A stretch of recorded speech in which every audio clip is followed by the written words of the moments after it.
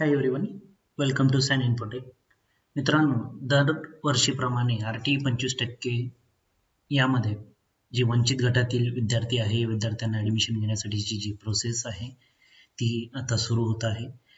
दोन हजार तेवीस चोवीस या वर्षाकरता हे प्रवेश असणार आहेत. या संदर्भात दरवर्षी आपण अपडेटेड व्हिडिओ यामध्ये टाकत असतो. डिस्क्रिप्शन बॉक्समध्ये याची प्लेलिस्ट मी टाकलेली आहे. संपूर्ण प्रक्रियेचे जे व्हिडिओज आहेत ते प्लेलिस्टमध्ये मी दिलेले आहे. यानंतर सुद्धा येणारे जे नवीन अपडेट आहे ते आपण वेळोवेळी अपडेट करून आपल्या चॅनलवरती देणार आहोत. त्यामुळे आपण जर चॅनलवरती नवीन असाल तर चॅनल सबस्क्राईब करा. ही महत्त्वाची माहिती आपण या थ्रू बघणार आहोत. तर आजच्या या व्हिडिओमध्ये जे काही नवीन अपडेट्स यावर्षी आलेले आहेत नवीन जी सूचना गव्हर्नमेंटकडनं आलेल्या आहेत त्या आपण यामध्ये बघणार आहोत. तर अठ्ठावीस दोन दोन हजार दो तेवीसचं हे ही सूचना आहे हे लेटर आहे की सर्व शाळांना आणि पालकांसाठी या सूचना आहे. तर यामध्ये ज्या महत्त्वाचे अपडेट यावर्षी देण्यात आलेले आहे ते अपडेट आपण बघूया. हे अपडेट समजून घेणं गरजेचं आहे. आपल्या पाल्याला जर यामध्ये ॲडमिशन घ्यायचं असेल प्रवेश घ्यायचा असेल तर या सूचना आपल्याला काटेकोरपणे पाळणं गरजेचे आहे. तर यामध्ये ऑनलाईन अर्ज मागवण्याची जी प्रक्रिया आहे ती एक मार्च पासून सुरू होते दुपारी तीन वाजेपासून. तर सतरा मार्च रात्री बारा वाजेपर्यंत हे ऑनलाईन ॲप्लिकेशन पालकांना आपल्या मुलासाठी करता येणार आहे. तर यामध्ये आपल्याला कुठल्या कुठल्या गोष्टी महत्त्वाच्या आहेत कुठल्या गोष्टींवरती आपल्याला फोकस करायचा आहे कुठले पाल्य यासाठी इलिजिबल आहे तर हे आपण या सूचनांच्या माध्यमातून आपण बघणार आहोत. तर सर्वात महत्त्वाचा पाठ यामध्ये आहे की पाल्यांना शाळामध्ये इयत्ता पहिली किंवा पूर्व प्राथमिक वर्ग या वर्गासाठीच आपल्याला प्रवेश घेता येतो. म्हणजे दुसरी किंवा तिसरी यामध्ये वर्गामध्ये यामध्ये प्रवेश घेता येत नाही. जो स्टार्टिंग क्लास जो आहे तो फर्स्ट स्टँडर्ड आहे आणि किंवा प्री प्रायमरी आहे. तर फर्स्ट स्टँडर्डसाठी पहिलीसाठी खूप सर्व जागा असतात. त्यामुळे पहिलीच्या साठी जे ॲप्लिकेशन करतील त्यांचे चान्सेस हे जास्तीत जास्त असतात. तर याची वेबसाईट जी आहे ती student dot Maharashtra dot G O V dot in he website आहे. या वेबसाईटची लिंकसुद्धा डिस्क्रिप्शन बॉक्समध्ये टाकलेली आहे. तर या पद्धतीची वेबसाईट आहे. ऑनलाईन ॲप्लिकेशन संदर्भात डिटेल व्हिडिओ मी तयार केलेला आहे. पण नवीन व्हिडिओसुद्धा मी यामध्ये अपडेट करणार आहे.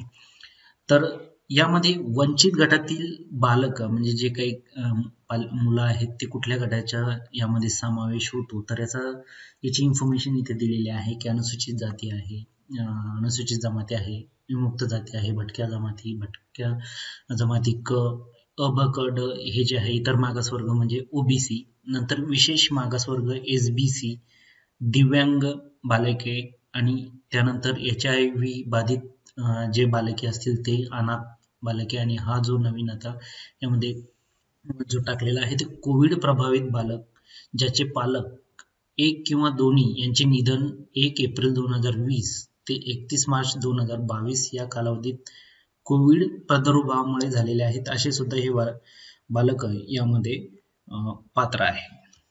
आता यामध्ये वंचित गटातील जे बालक असतील त्यांना उत्पन्नाची मर्यादा लागू नये. म्हणजे जे वरील जो प्रकार आहे यामध्ये वंचित गटाचे जे बालक आहे त्यांना उत्पन्नाची मर्यादा लागू नाही. परंतु जे आर्थिक दुर्बल घटकामध्ये येतात अशा बालकांना म्हणजे त्यांच्या पालकाचे वार्षिक उत्पन्न हे एक लाखापेक्षा कमी असायला पाहिजे. असे पालकाचे बालक हे यामध्ये प्रवेश घेऊ शकतात. तर या प्रक्रियेसाठी कुठले कुठले डॉक्युमेंट्स गरजेचे आहे नवीन कुठले डॉक्युमेंट्स आहेत ते आपण पुढे याच व्हिडिओमध्ये बघणार आहोत. यामध्ये सर्वात महत्त्वाचा पार्ट म्हणजे प्रवेश प्रक्रियाच्या आपण ऑनलाईन जेव्हा ऍप्लिकेशन करू त्यासाठी दहा शाळांची निवड करायची आहे. म्हणजे आपल्याला लिस्टमध्ये आपल्याला ज्या सुटेबल शाळा असतील त्या दहा शाळांची आपल्याला निवड करायची आहे. आणि शाळा निवडताना आपल्या घरापासून तर शाळेपर्यंत हवाई अंतर जे आहे म्हणजे गुगल मॅपच्या यांनी जे अंतर असेल जे कमीत कमी अंतर असेल तर अशा शाळा निवडायच्या आहे. आता या शाळा निवडताना पहिला प्रेफरन्स जो हा सर्वात जवळची शाळा जी असेल त्या शाळेला दिला जातो. त्यानंतर त्याच्यापेक्षा जास्त म्हणजे या पद्धतीने ही प्रेफरन्स दिला जातो. त्यामुळे त्यामुळे आपल्या घराशेजारील शाळा या तुम्ही जर मॅप केल्या किंवा दिल्या दहा शाळांची निवड केली तर यामध्ये नंबर लागण्याचे चान्सेस हे जास्त असतात. आता यामध्ये जेव्हा तुम्ही हे अंतर सिलेक्ट करता तर गुगल मॅप थ्रू तुम्हाला जो बलून असतो तो तुम्हाला सेट करायचा आहे आणि याची सुद्धा त्यांनी एक पाच वेळा तुम्ही त्याला बदल करू शकता. एकदा सेट केल्यानंतर पाच वेळेसच त्यांनी मर्यादा ठेवलेली आहे. तुम्ही याच्यापेक्षा जास्त यामध्ये चेंजेस करू शकत शकत नाही. तर यासाठी ऑनलाईन ॲप्लिकेशन करताना याची डिटेल माहिती आपल्याला ही देण्यात येईल. त्यानंतर महत्त्वाचा मुद्दा म्हणजे आपल्याला ऑनलाईन ऍप्लिकेशन जे आहे ते ठरून दिलेल्या तारखेच्या आतच करायचं आहे. याचं कारण असं आहे की इंटरनेटचा प्रॉब्लेम असेल किंवा शेवटच्या दिवशी सर्व्हरवरती लोड आल्यामुळे वेबसाईट हँग होणं हे प्रकार होऊ शकतो. त्यामुळे लवकरात लवकर याचं फॉर्म भरणं गरजेचं आहे. या प्रक्रियेसंदर्भात आपल्याला काही समस्या असेल अडचणी असेल तर यासाठी या पोर्टलवरती मदत केंद्रांची हेल्प डेस्क म्हणून इन्फॉर्मेशन दिलेली आहे. तिथूनही तुम्ही त्या डेस्कवरती हेल्प डेस्कवरती नंबर डायल करून तुम्ही मदत मागू शकता किंवा जवळच्या गट साधन केंद्र म्हणजे बीईओ ऑफिस किंवा महानगरपालिकेचं जे एज्युकेशन डिपार्टमेंट आहे तिथे जाऊन तुम्ही याची मदत घेऊ शकता. त्यानंतर पालकांनी ऑनलाईन अर्ज करताना इन्फॉर्मेशन जी आहे ती करेक्ट द्यायची आहे आणि खरी माहिती द्यायची आहे. यामध्ये सर्वात महत्त्वाचा पार्ट यामध्ये ऑनलाईन फॉर्म भरताना जो म्हणजे तुमचा घराचा पत्ता जन्मदिनांक मुलाची उत्पन्नाचा दाखला जात प्रमाणपत्र हे अत्यंत महत्त्वाचा पार्ट आहे. यामध्ये घराचा पत्ता हा तुमच्या त्यानंतर ज्या बालकांनी यापूर्वी आर टी पंचवीस टक्केमध्ये प्रवेश घेतला आहे अशा बालकांना पुन्हा अर्ज करता येत नाही. तसं सिस्टीमच अलाव करत नाही पण जर काही चेंजेस करून तुम्ही जर फॉर्म भरत असाल तर यामध्ये पुढे ला प्रॉब्लेम होऊ शकतो. याच्यावरती कारवाई होऊ शकते.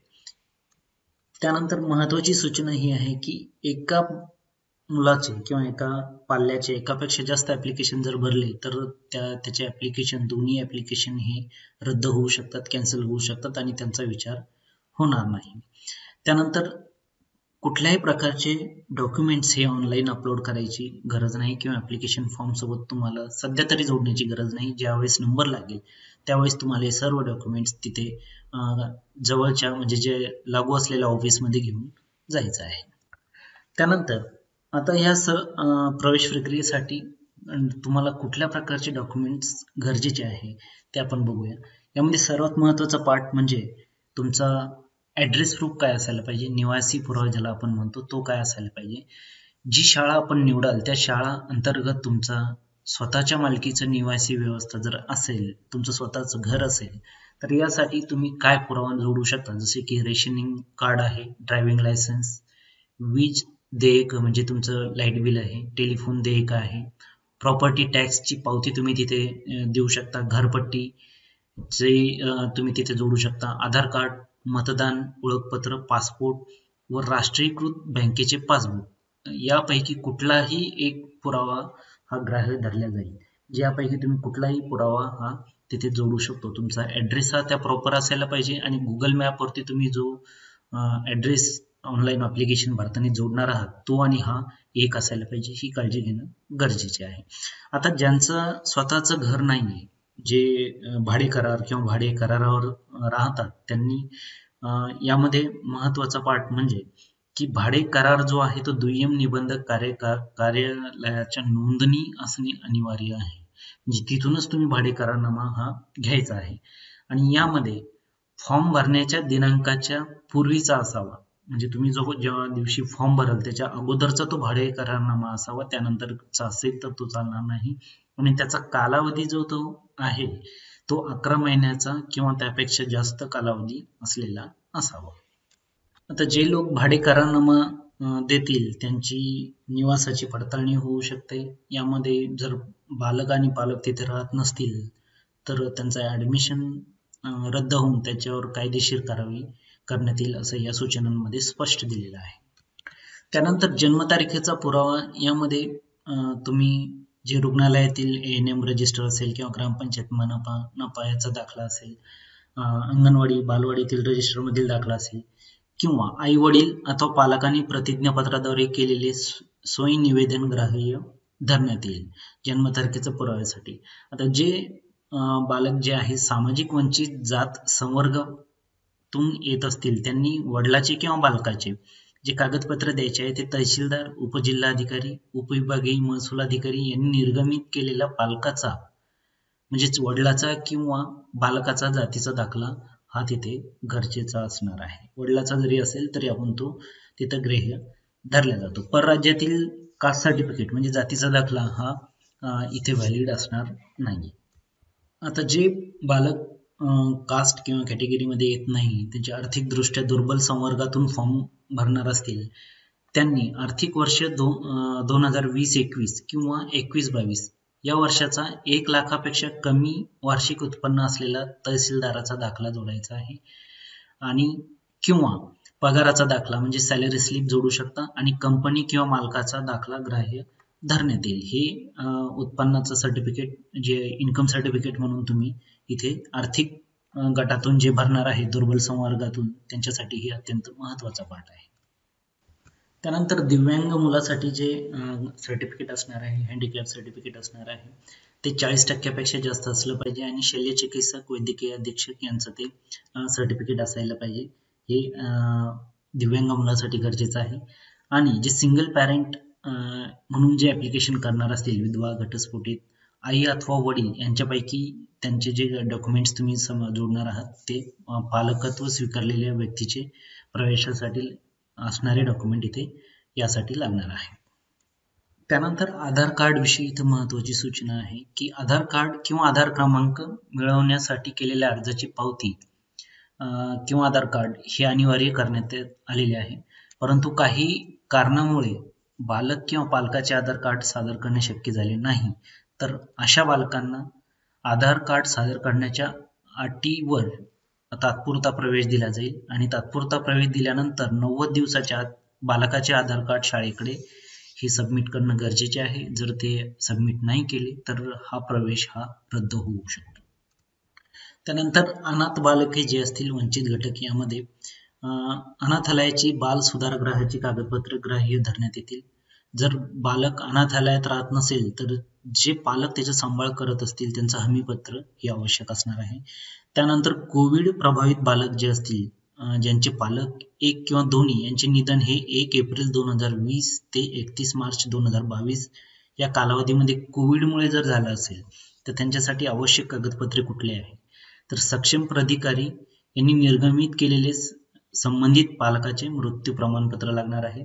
कोविड नाईन्टीनमुळे मृत्यू झाल्याचे रुग्णालयाचे वैद्यकीय प्रमाणपत्र त्याला medical certification of cause of death form number four four A हे दिलेले आहे रूल इथं रूल नंबर सेवन त्यानंतर सदर मृत्यू कोविड नाईन्टीनशी संबंधित असल्याबाबतचे वैद्यकीय प्रमाण प्रमाणाने शासकीय पालिका महानगरपालिका रुग्णालय अथवा आय सी एम आर नोंदणीकृत खाजगी रुग्णालय प्रयोगशाळा यांचा अहवाल यासाठी गरजेचा आहे. त्यानंतर घटस्फोटित महिलांचे पालक जर असतील तर न्यायालयाचा निर्णय आहे. घटस्फोटित महिलांचा बालकाच्या आईचा रहिवाशी पुरावा वंचित गटातील असल्यास बालकाचा किंवा त्याच्या वडिलाच्या जातीचं प्रमाणपत्र बालक आर्थिक दुर्बल घटकातील असल्यास बालकाच्या आईचा किंवा पालकाचा उत्पन्नाचा दाखला हे डॉक्युमेंट यामध्ये गरजेचे आहे. जर न्यायप्रविष्ट घटस्फोटातील प्रकरण असेल तर या न्यायप्रविष्ट असल्याचा पुरावा घटस्फोट प्रकरण न्यायप्रविष्ट असल्याचा महिल महिलेचा बालकाच्या आईचा रहिवाशा पुरावा लागेल त्यांचं उत्पन्न लागेल. हे बाकीचे जे डॉक्युमेंट त्यासाठीच लागेल फक्त न्यायालयाचा जो पुरावा आहे तो यामध्ये जोडणं गरजेचं आहे. त्यानंतर विधवा महिला असेल तर पतीचे मृत्यू प्रमाणपत्र आणि बाकीचे डॉक्युमेंट्स यामध्ये जोडावे लागणार आहे. तर यामध्ये ऑनलाईन ॲप्लिकेशनची जी कालावधी जर पूर्ण झाल्यानंतर या सर्व ॲप्लिकेशनची ऑनलाईन एकच लॉटरी काढली जाते. ही लॉटरी ऑनलाईन पद्धतीने काढली जाते. यामध्ये कुठलाही ह्युमन इंटरफेरन्स नसतो. ही लॉटरी काढल्यानंतर पहिली लिस्ट लागते. आणि पहिल्या लिस्टमध्ये जे काही विद्यार्थी तिथे दिलेले असेल त्यानंतर एक वेटिंग लिस्ट असते. पहिल्या लिस्टमधील ज्या जागा रिक्त राहतील त्या जागेंवरती वेटिंग लिस्टमधील प्रवेश होत होतात. आणि पहिल्या वेटिंग लिस्टमधील प्रवेशामधील ज्या जागा रिक्त राहतील त्यामध्ये सेकंड वेटिंग लिस्ट अशा पद्धतीने ह्या जागा या पूर्ण भरल्या जातात. यामध्ये ज्या विद्यार्थ्यांचे नंबर लागतील या नंबर लागलेल्या विद्यार्थ्यांचे डॉक्युमेंट्स हे पडताळणी समितीकडनं हे चेक केले जातात. ही पडताळणी समिती तालुका स्तरावर असते किंवा महानगरपालिकेच्या स्तरावरती हे ही समिती असते. ही त्या विद्यार्थ्याचे डॉक्युमेंट चेक करते आणि डॉक्युमेंट चेक करून हे शाळेकडे पाठवले जातात आणि त्यांचा प्रवेश हा निश्चित केला जातो.